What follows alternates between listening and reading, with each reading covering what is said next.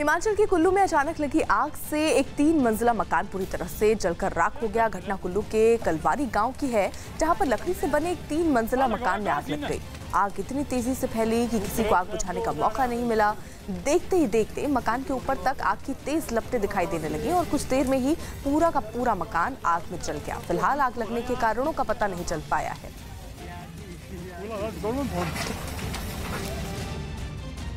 UP के आगरा में एक दुकानदार लोगों के बीच खाने पीने के सामान को लेकर जमकर हंगामा हुआ। आरोप है कि दुकानदार लोगों को सरकार की तरफ़ से बांटा जाने वाला जो खाना था, उसे कम बांट रहा था।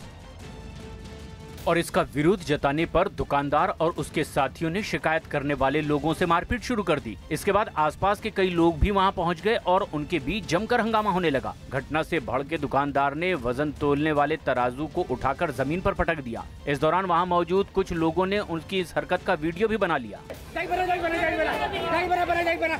हंगामे के बीच कुछ लोग दोनों पक्षों को अलग करने की कोशिश भी करते दिखे। कई महिलाओं ने भी लोगों को रोकने की कोशिश की, लेकिन हंगामा जारी रहा। हालाँकि काफ़ी देर बाद वो सभी लोग वहाँ से चले गए। जंग के मैदान में जीत उसी को हासिल होती है, जिसके इरादों में फौलाद भरा हो। 1971 की जंग हो या जून 2020 में भारत और चीन के बीच हुई खूनी झड़प, एक नाम हमेशा से चर्चा का सबब बनाता रहा है, और वो है बिहार रेजिमेंट का। साहस की अभूतपूर्व पटकथाएँ लिखने वाली इस रेजिमेंट ने लद्दाख में जो कुछ कर दिखाया, उसकी आज एक बार फिर से मिसाल दी जा रही। आइए आपको भी दिखाते हैं हौसले और जज्बे की वो कहानी जिसकी चर्चा इस वक्त पूरे देश में हो रही है।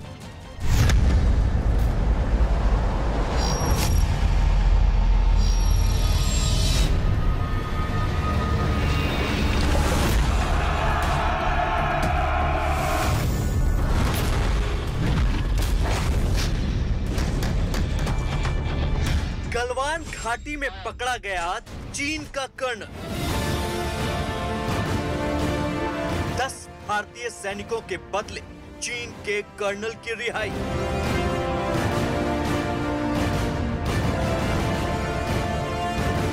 सूत्रों के हवाले से आई ये जानकारी भारतीय सेना के उन जाबाजों की कहानी बताती है, जिन्होंने लाइन ऑफ़ एक्चुअल कंट्रोल पर लड़ते हुए चीन को उसकी करतूत का करारा जवाब दिया। सूत्र बताते हैं कि दोनों देशों के बीच तीन दिन तक चली बैठक के बाद चीन के कर्नल को तभी रिहा किया गया जब चीन ने 10 भारतीय सैनिकों को रिहा किया आइए अब आपको बताते हैं उस रेजिमेंट की कहानी जिसने गलवान घाटी में चीन के सैनिकों को धूल चटाने का काम किया They're not the bats, they are the Batman.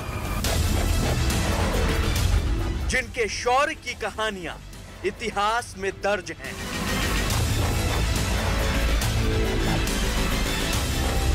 जिनके बाहुबल की दास्तान दशकों से सुनी और सुनाई जाती है।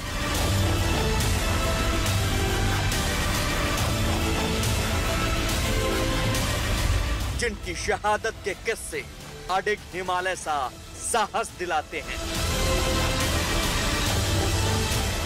दर्द था दर्द। भाई मेरा मरा नहीं है, भाई भाई मेरा ज़िंदा है। जिनकी ज़िंदगी का मकसद कर्म ही धर्म है।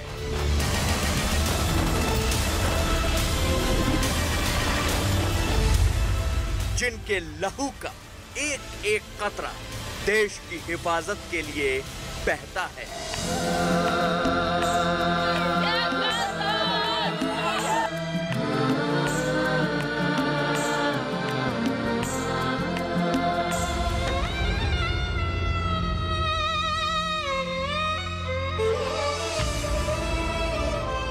कहानी उस बिहार रेजिमेंट की है, जिसने गलवान घाटी में चीन के गुनाहों का एक बार फिर मुंहतोड़ जवाब दिया है।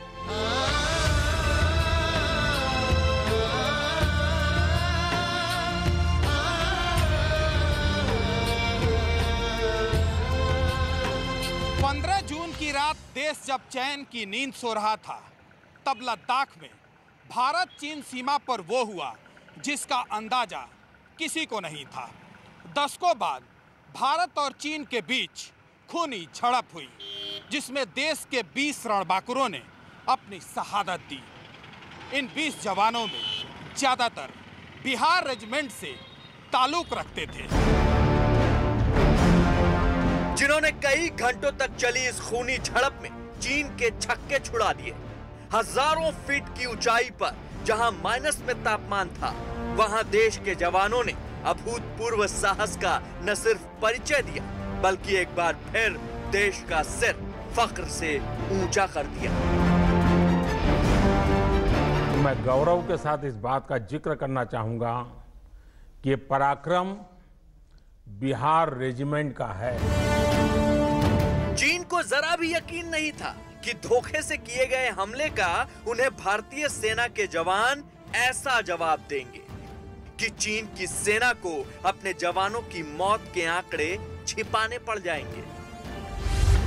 हालाँकि इस दौरान बिहार रेजिमेंट की 16वीं बटालियन के commanding officer colonel B. Santosh Babu शहीद हो गए। इनके अलावा इसी रेजिमेंट के सिपाही अमन कुमार, चंदन कुमार, दीपक कुमार, गणेश कुंजाम, गणेश राम, के के ओझा, राजेश ओराम, सी के प्रधान नायब सूबेदार नंदूराम, हवलदार सुनील कुमार और बारहवीं बटालियन के जय किशोर सिंह देश की हिफाजत करते हुए वीर गति को प्राप्त हुई देश सदमे में ज़रूर है, लेकिन इनके शौर्य की कहानियाँ हर किसी के जहन में है।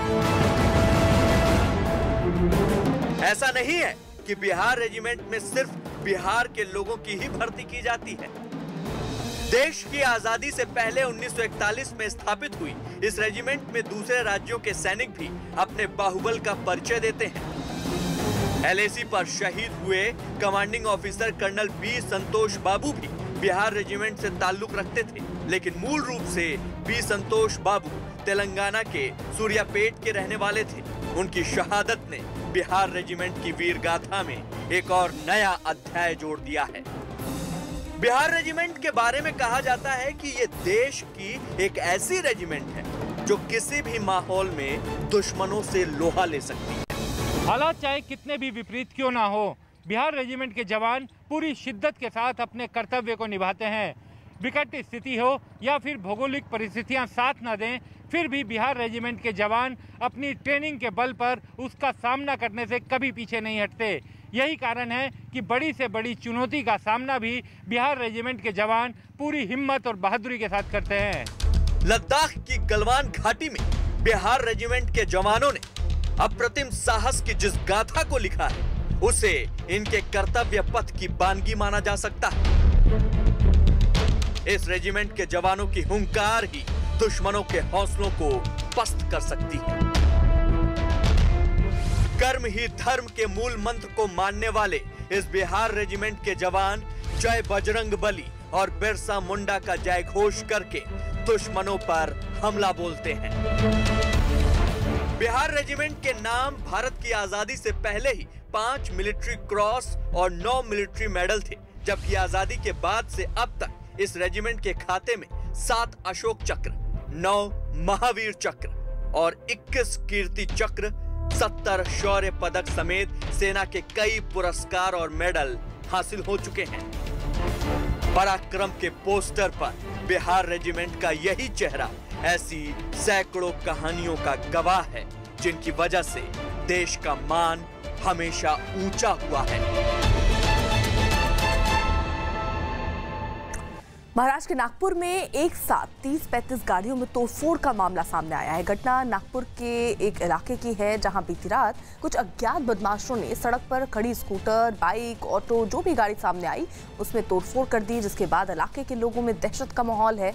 नागपुर पुलिस ने आरोपियों की तलाश शुरू कर दी है।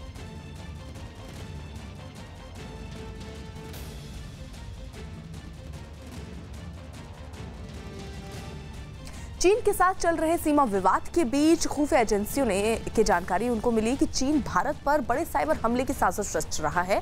जानकारी के मुताबिक इस साइबर हमले की साजिश में भारत की सरकारी एजेंसियाँ और सरकारी दफ्तरों को निशाना बनाया जा रहा है।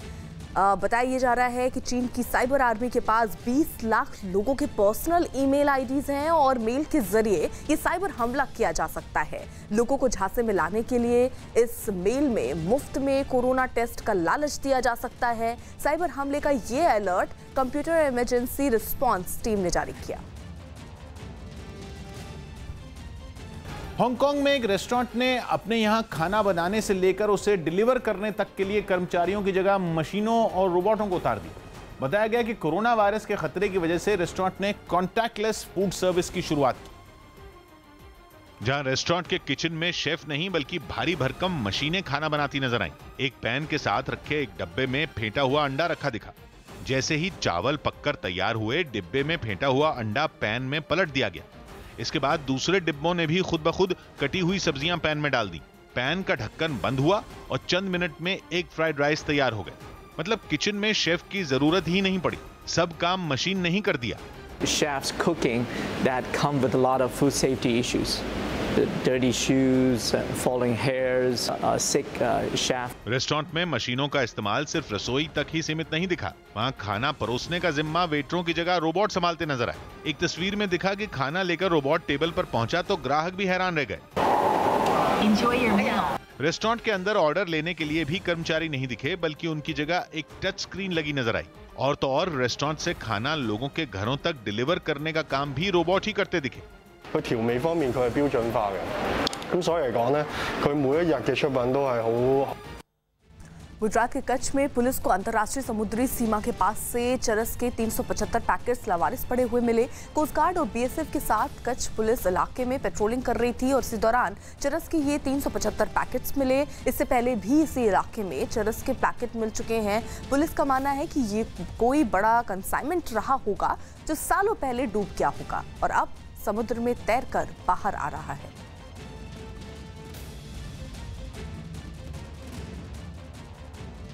लद्दाख में भारत और चीन के बीच जारी तनाव पर अमेरिका से रूस तक ने जिस तरह खुलकर भारत का साथ दिया, वो चीन के लिए बड़ा संदेश है। अमेरिका ने गलवान घाटी में शहीद हुए भारत के जवानों को श्रद्धांजलि दी। चीन पर खुला आरोप भी लगा दिया कि उसने महामारी के बीच भारत की ज़मीन कब्जाने की कुटिल चाल चली। चूँकि रूस भी चीन की फितरत को जानता है, लिहाजा वो भी भारत के साथ खड़ा है।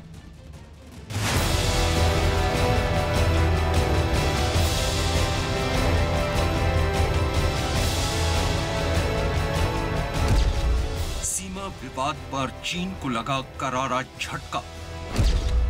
भारत को मिला रूस का साथ। लद्दाख सीमा की गलवान घाटी में 15 जून को हुई भारतीय और चीन सैनिकों के बीच हिंसक झड़प के बाद दोनों देशों के बीच हालात सुधरे नहीं हैं। सीमा पर तनाव बना हुआ है, लेकिन इस दौरान चीन के लिए एक बुरी खबर आई है और वो ये कि रूस भारत के साथ खड़ा है। सूत्रों के मुताबिक, रूस ने चीन के साथ सीमा पर जारी टकराव के बीच भारत को उसके प्रयासों में उसके समर्थन का आश्वासन दिया है। रूस ने कहा कि भारत और चीन दोनों ही उसके करीबी पार्टनर और दोस्त हैं। लिहाजा वो कभी ये नहीं चाहेगा कि भारत और चीन के बीच विवाद बढ़े। रूसी विदेश मंत्री सरगई लावारोव और भारत में रूस के राजदूत निकोलाई कुदाशेव ने भारत चीन सीमा विवाद के जल्द हल होने की उम्मीद जताई है। भारत में रूस के राजदूत निकोलाई कुदाशेव के मुताबिक हम एलएसी पर तनाव कम करने के प्रयासों के सभी चरणों का स्वागत करते हैं, जिसमें दो विदेश मंत्रियों के बीच बातचीत भी शामिल है और आशावादी बने रहें। दरअसल 23 जून को रूस, भारत और चीन के विदेश मंत्रियों की वर्चुअल मीटिंग होनी है और बहुत मुमकिन है कि इस मीटिंग के दौरान गलवान घाटी में हुई हिंसक झड़प और लद्दाख सीमा पर तनाव कम करने के मुद्दे पर बातचीत हो। तेईस जून को रशिया में रशिया, इंडिया और चाइना के फॉरेन मिनिस्टर्स की बातचीत है। ये वीडियो वीडियो कॉन्फ्रेंस है। इसका मुख्य मुद्दा है कि जो पेंडेमिक है, इसके साथ कैसे निपटा जाए। इसमें लद्दाख तो इशू बनता ही नहीं। मुझे नहीं लगता इस इशू को रेज किया जाएगा क्योंकि ना तो रशिया इसमें इंटरेस्टेड है, ना ही शायद हिंदुस्तान एक इंटरनेशनल फोरम इसको डिस्कस करना चाहेगा at this point of time सिर्फ़ रूस ही नहीं बल्कि अमेरिका भी गलवान घाटी के मुद्दे पर भारत के साथ खड़ा दिखाई दे रहा है। अमेरिकी राष्ट्रपति डोनाल्ड ट्रंप भी कह चुके हैं कि वो इस मुद्दे पर भारत और चीन दोनों के साथ बातचीत कर रहे हैं।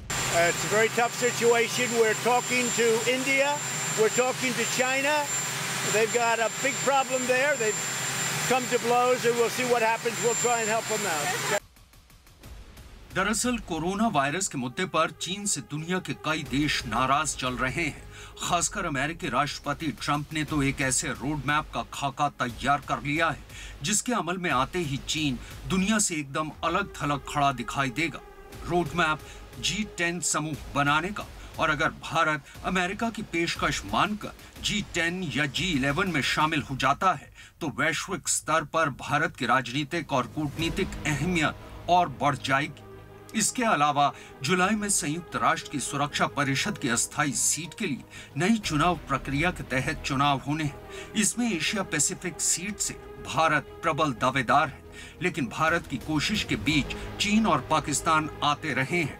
पर अब अमेरिका इस सीट के लिए जिस तरह भारत का समर्थन कर रहा है, उसे देखकर तो लगता है कि इस बार ये सीट भारत को ज़रूर मिल जाएगी। इसके अलावा राष्ट्रपति ट्रंप ने नए जी इलेवन समूह में रूस को भी शामिल होने का न्यौता दिया है। फ़िलहाल रूस ने अभी तक इसमें शामिल होने पर कोई बयान नहीं दिया है। लेकिन अगर रूस जी इलेवन में शामिल हो गया तो ये चीन के लिए एक और बड़ा झटका साबित होगा। यूँ तो चीन रूस का सहयोगी और एक मित्र देश है, लेकिन सूत्रों की माने तो रूस चीन पर पूरा भरोसा नहीं करता है और उसकी एक बड़ी वजह है। उन्नीस में दोनों देशों के बीच सीमा विवाद को लेकर हुई जंग। इस जंग में रूस ने चीन को हरा दिया था। हालाँकि इस जंग के बाद दोनों देशों के रिश्ते तो सुधर गए, लेकिन फिर भी रूस चीन के रवैये को लेकर उस पर विश्वास नहीं करता है। ये भी एक बड़ी वजह है कि चीन की फितरत को जानते हुए रूस भारत के साथ खड़ा हुआ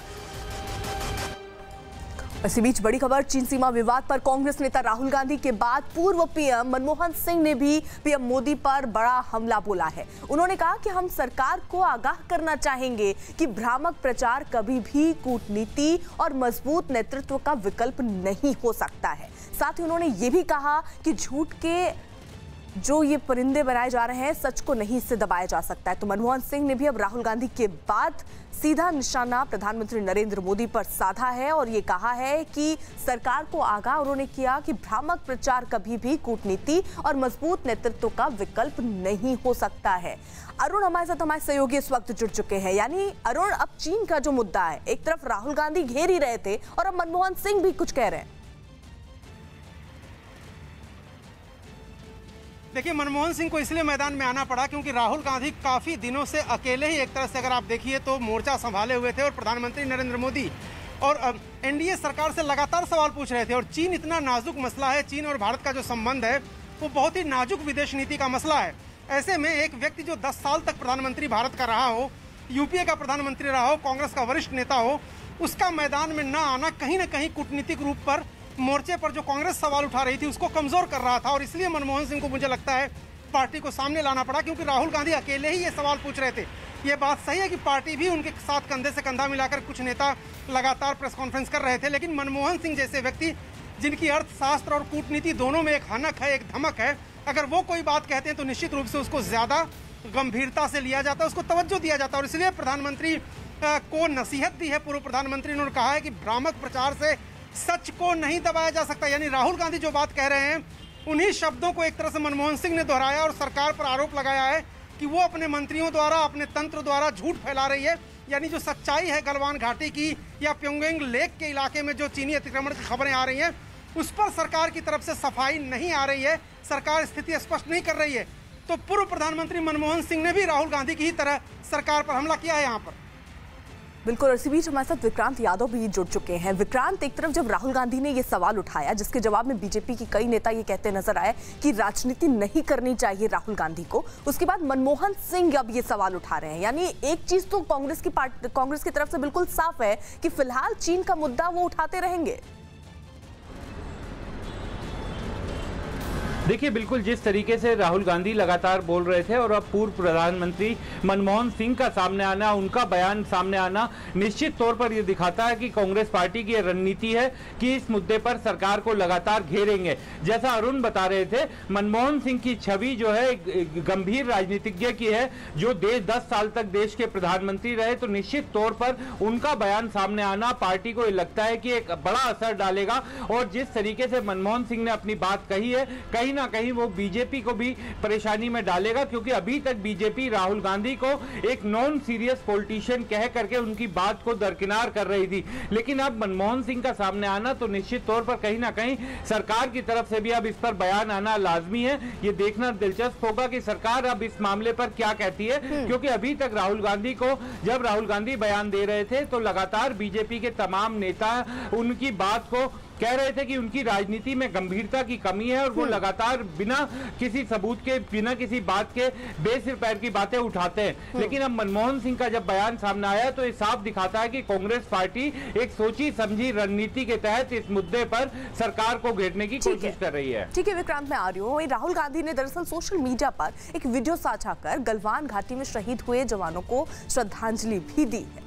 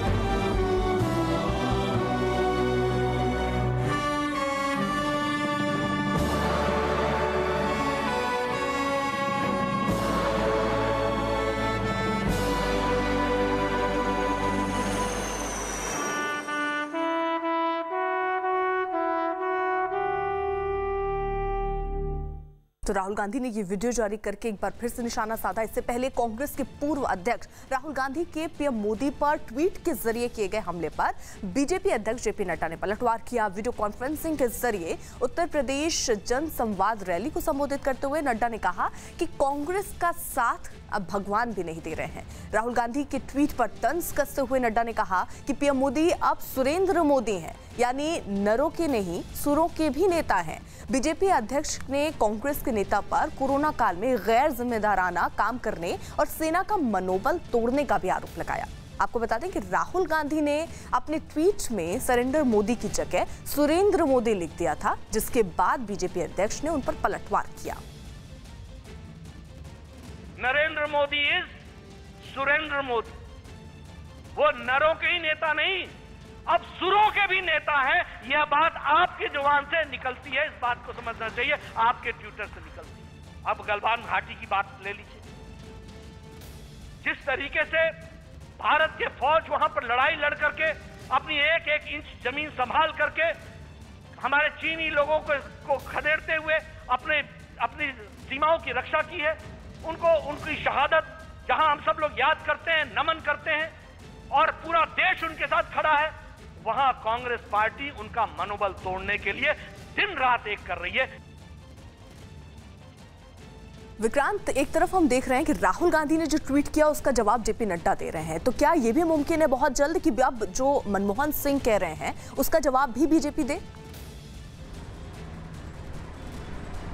देखिए, बिल्कुल, क्योंकि पार्टी का और सरकार का एकमत राय है कि प्रधानमंत्री ने जब सर्वदलीय बैठक में हिस्सा लिया था तो उसमें साफ़ बात कही थी कि किस तरीके से भारतीय सेना ने वहाँ पर वीरता दिखाते हुए अपने भूभाग की रक्षा की। और बीजेपी और सरकार का यह कहना है कि इस मामले में लगातार कांग्रेस राजनीति कर रही है। बाकी राजनीतिक तमाम दल सरकार के रुख के साथ थे।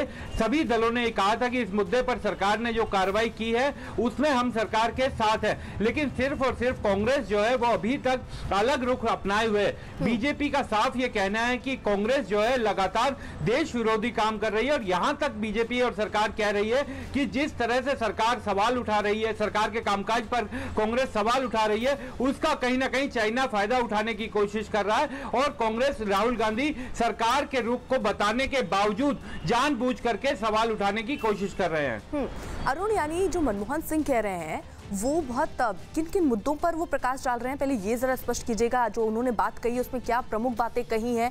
और अब इसका जवाब देना बीजेपी के लिए थोड़ा मुश्किल ज़रूर होगा, क्योंकि राहुल गांधी को ये कह के कि वो राजनीति कर रहे हैं, चीज़ों को समझ नहीं रहे, टाल सकते हैं। लेकिन मनमोहन सिंह, जो कि खुद इन चीज़ों को बेहतर तरीके से समझते हैं, उनका जवाब देना बीजेपी के लिए थोड़ा सा मुश्किल होगा। देखिए, अर्थ शास्त्र पर जब सवाल करते हैं मनमोहन सिंह, जितनी गंभीरता से लिया जाता है, चूँकि मनमोहन सिंह कम बोलते हैं, बहुत कम बोलते हैं, इसलिए जब वो बोलते हैं तो उसका वज़न ज़्यादा होता है और ये लाजमी भी है। जो व्यक्ति देश का प्रधानमंत्री दस साल रहा हो, उसके हर शब्द की कीमत होनी चाहिए और इस मामले में भी उसको उसको कम से कम बीजेपी को और केंद्र सरकार को गंभीरता से लेना चाहिए, उसका जवाब भी देना चाहिए। राहुल गांधी लगातार जो सवाल पूछ रहे थे निश्चित रूप से जब वो गलवान घाटी पर चीनी सैनिकों के कब्जे का सवाल पूछ रहे थे तो प्रधानमंत्री ने ऑल पार्टी मीटिंग में क्लियर कर दिया कि हमारे किसी भी ज़मीन के टुकड़े पर कोई कब्जा नहीं हुआ है। लेकिन बाद में जब खबरें आ गई कि प्योंग- प्योंगोंग लेक पर जो फिंगर फोर और एट के बीच का जो इलाका था जो तटस्थ था दोनों पेट्रोलिंग करते थे वहाँ वहाँ पर चीन ने कब्जा कर लिया है। इस तरह की बातें कह के राहुल गांधी ने सफ़ाई मांगी एक वीडियो ट्वीट करके। तो ज़ाहिर सी बात है सरकार पर दबाव होगा और मनमोहन सिंह के बयान के बाद अब सफ़ाई ज़रूर आएगी सरकार की बहुत बहुत शुक्रिया आप दोनों का हमारे साथ जुड़ने के लिए। उधर रक्षा मंत्री राजनाथ सिंह रूस में होने वाले विक्ट्री डे परेड कार्यक्रम में शामिल होने के लिए आज मॉस्को जा रहे हैं। 24 जून को दूसरे विश्व युद्ध की जीत की 75वीं सालगिरह है।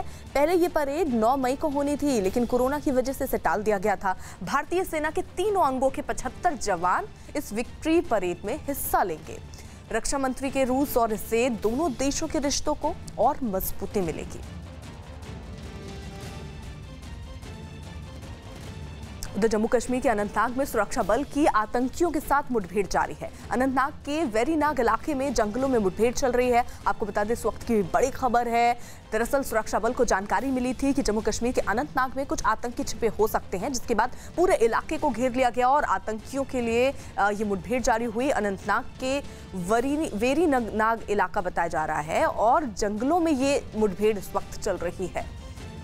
रिफत अब्दुल्ला हमारे साथ इस वक्त हमारे सहयोगी जुड़ चुके हैं। रिफत, कितने आतंकी बताए जा रहे हैं?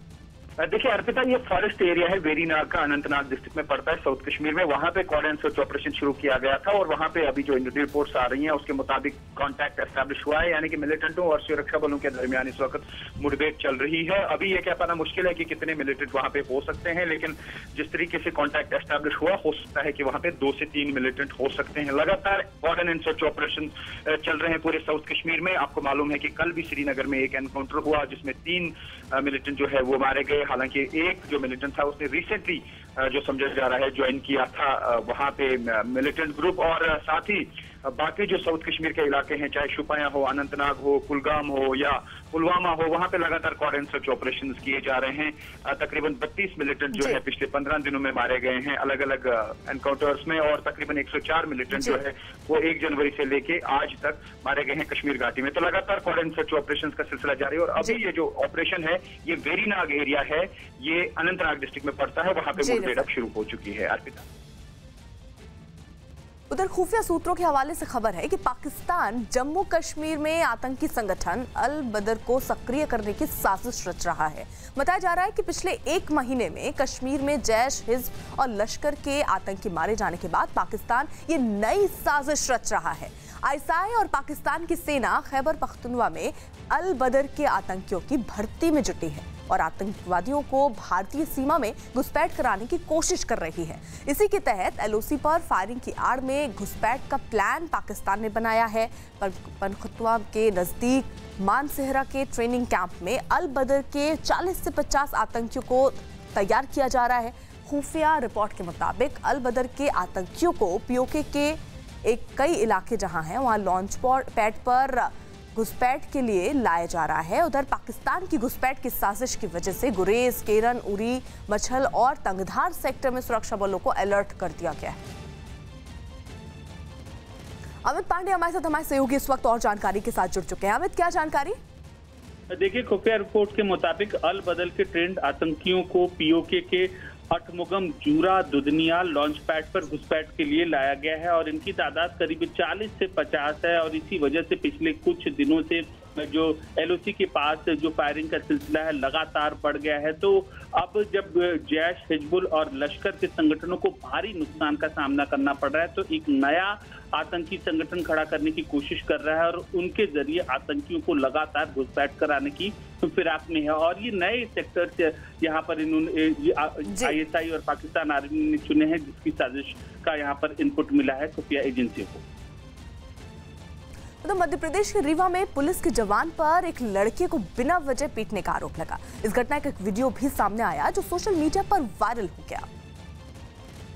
जिसमें दिखा कि पुलिस का एक जवान कुछ लोगों के सामने एक लड़के को बुरी तरह पीटने लगा। उसने उस लड़के को ज़मीन पर भी पटक दिया और पटकने के बाद उसकी खूब पिटाई की।